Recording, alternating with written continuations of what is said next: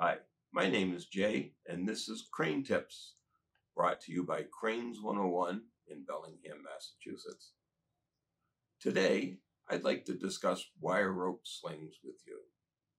Now, wire rope slings have a, a very special purpose in this business. Um, they're very versatile and very strong. A wire rope sling um, may occasionally get a dog leg in it, a little bit of a bend and they're still usable at that point.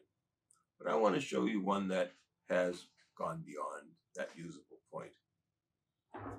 When it's deformed this badly, this is no longer usable.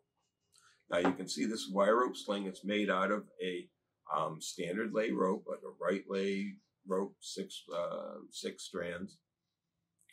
The eye of this, and one of the reasons this eye is so incredibly strong, the rope has been separated and woven back into itself. So the ends of the rope is underneath this collar, which then gets crushed onto the end.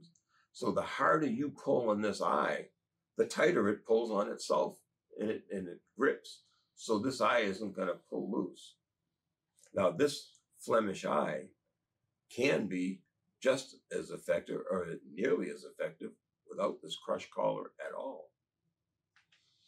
So the eyes on this are just fine. All right. But the fact that it's been, this badly deformed, you have to be concerned about whether there's broken wires in the core of this rope. And that, that's the part you can't see. And if you wanted to inspect it to see if there's broken wires, you'd have to cut the rope in half and you might as well just throw it away at that point. Now, again, this is a piece of rigging, and we've discussed this before. Rigging is disposable. And when this one looks like this, you throw it away. Or you can give it to me and I'll use it for demonstration. but you don't use it for lifting anything anymore. I thank you for attending this.